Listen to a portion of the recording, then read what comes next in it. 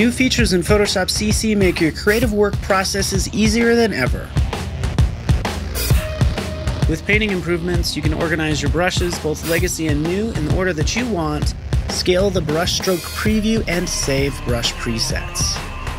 And we've improved the reaction time, which means you won't be slowed down by lagging brushes.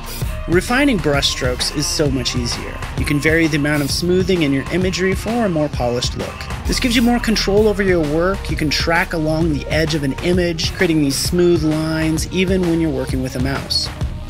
The new curvature pen tool is similar to the one found in Illustrator CC. You can push and pull segments directly instead of modifying the Bezier handles. Create a path quickly from elements in your design. Choose the color and the line thickness of your paths to make them easier to see. And you can double click to switch between point types.